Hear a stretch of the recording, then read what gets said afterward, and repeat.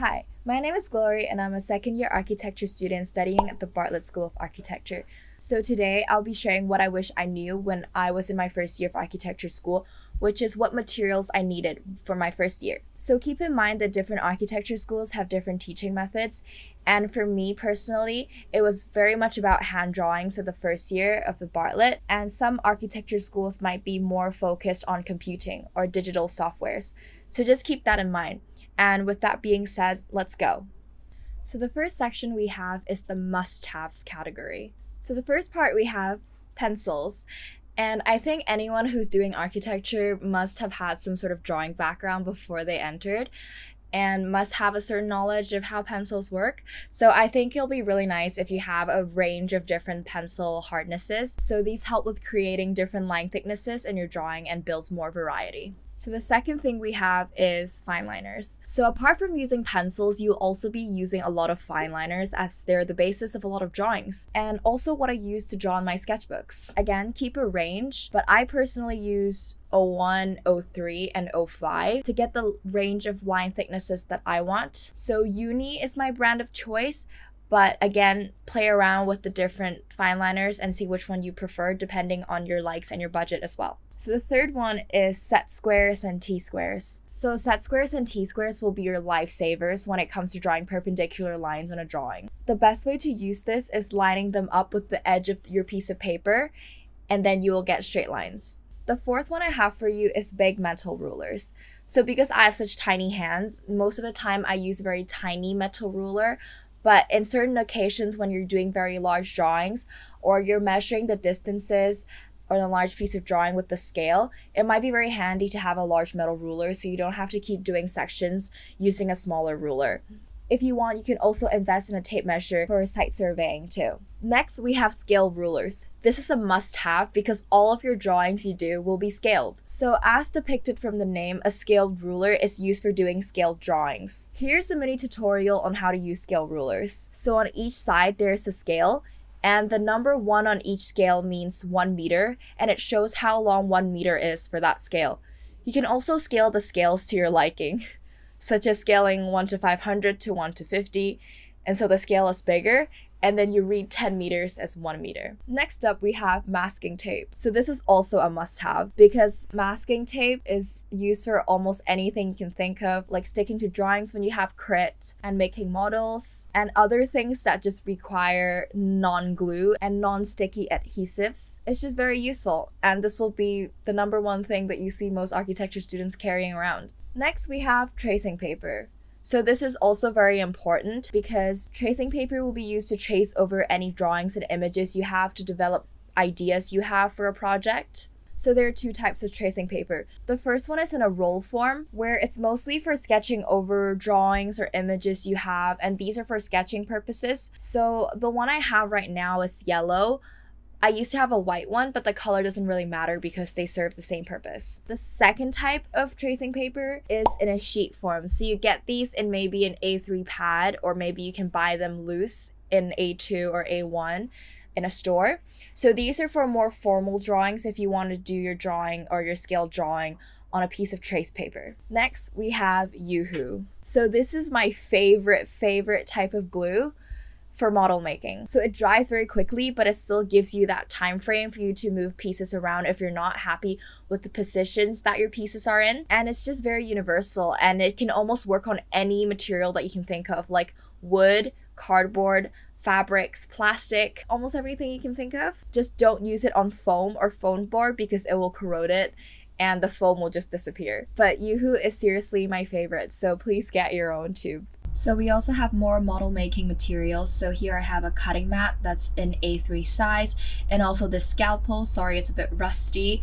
So these can be used to cut card for model making and also just very handy for cutting up materials.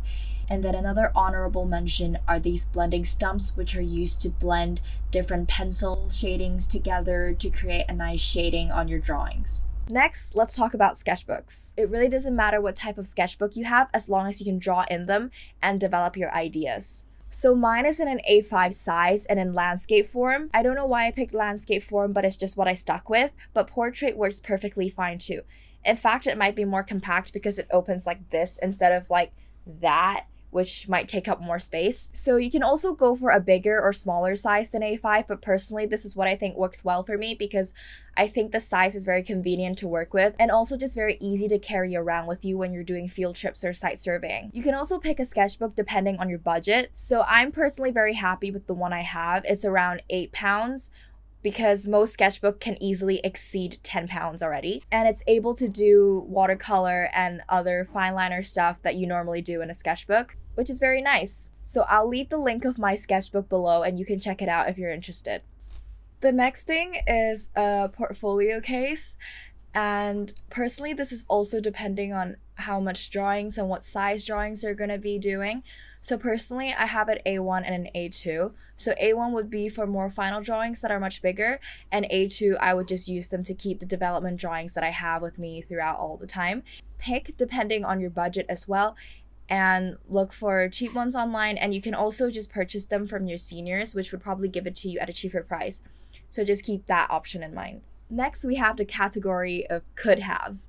So these are the stuff that might be useful if you have them, but it's not really a big deal if you don't have them too. So the first one I have for you is drawing boards. So these are the drawing boards that are like A1 size and are super massive and you can put your drawings on them and then draw them at a perpendicular scale because it has a ruler that moves up and down that's parallel to the piece of paper you have. So the tutors in my first year recommended us getting this drawing board.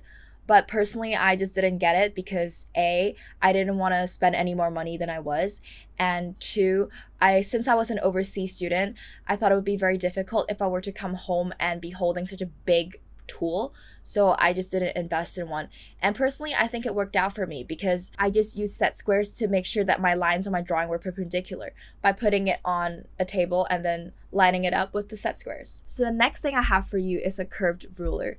So these things are very fiddly, but quite nice if you're doing a lot of curves on your drawing.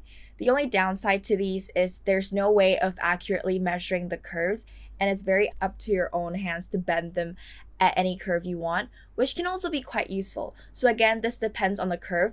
And for me, I didn't buy this when I first went into architecture school. I only bought it at a time when I needed to draw a lot of curves, and then it was helpful to me at that time. Next, we have circle templates.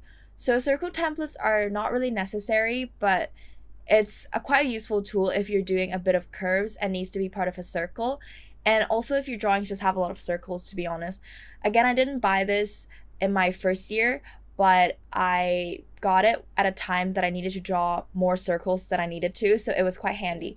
So again, you don't have to purchase this right at the beginning. The third one I have for you is a compass. So I would assume that before you enter architecture school, uh, most students would have a compass with them already and know how to use one. You can technically borrow this from some of your course mates, but it's just nice to have your own one and might be handy when you're doing large circles on a drawing. So the third category I have for you is not needed but fun to have. So these are tools that you probably don't need, but it's just nice if you have them. It's quite fun and it can be quite useful. So the first tool I have for you in this category is an electric eraser. So it sounds very fancy and unnecessary, but after I bought one because I saw one of my friends using it, I thought it was the most useful thing ever because it has such a tiny tip so it's able to erase areas in your drawing that a large eraser would not be able to erase because it's so big and it would erase everything in that area. So it's quite a good investment if this is something you're interested in.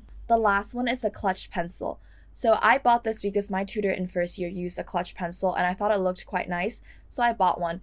And the lead I use is 4H, so it's very light, so I use this to do light sketching in my sketchbooks and also as a draft on some of my drawings. And later on, I go over the lines with a thicker pencil. So that's how I use my clutch pencils. There's a ton of videos online that talks about clutch pencils in detail. So if you're interested, you can also go watch those. So now we've come to the category of tech materials, and I'm talking anything that's electronic. So the first thing, let's talk about computers. So, in terms of computers, because again, like I said, the first year for Bartlett is very analog and hand drawing. So, I didn't use my computer that much for digital softwares or um, technical drawings, anything like that. So, I use a MacBook Pro And personally, I think any other laptop would work perfectly fine. I see a lot of people using Windows. And I think in first year, because we didn't need to do any of those technical stuff, so mostly computers were used for editing drawings or editing photos in Photoshop and also just editing videos or films that you might use as research to present. And I think that was enough for first year. So let's move on to iPads. So I had an iPad as well, but Personally, I didn't think it was that necessary for first years because a lot of the stuff can be done on your computer already. And the only reason I could justify using an iPad is if you have a stylus, like an Apple Pencil or a stylus for any other tablet, which would be quite useful if you're making digital pieces that require a stylus and this could help in doing digital drawings or you know photoshopping stuff on the ipad and that could be quite handy for design studio but in terms of other things i don't really see a reason to justify using the ipad however for other modules that might require note taking, I think an iPad is a good investment. But again, this also depends on your preference and your budget. So that's it for the video.